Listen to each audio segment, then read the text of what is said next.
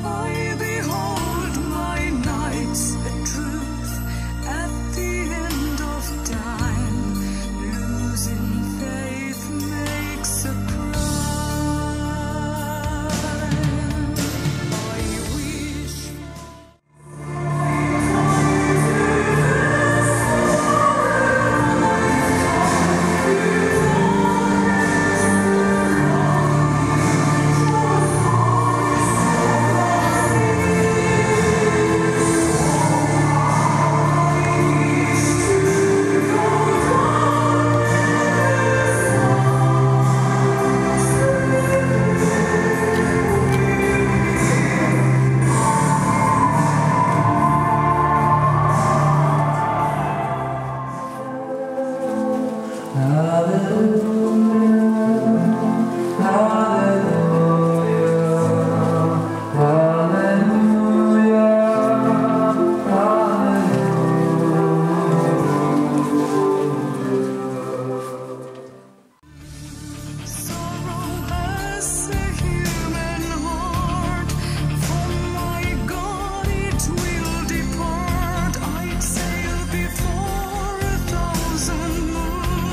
Podcast.